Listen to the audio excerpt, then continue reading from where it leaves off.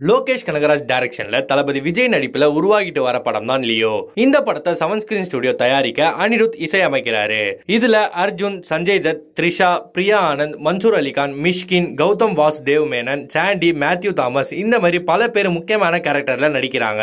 இந்த படத்தோட ஷூட்டிங் இறுதி கட்டத்தை தொற்றுருக்கு இந்த படத்தோட ஃபர்ஸ்ட் பாட்டான ஆல்டர் ஈகோ நான் ரெடி பாட்டை தளபதி விஜய் பர்த்டே அப்போ ரிலீஸ் ஆகும் அப்படின்னு போஸ்டர் ரிலீஸ் பண்ணாங்க.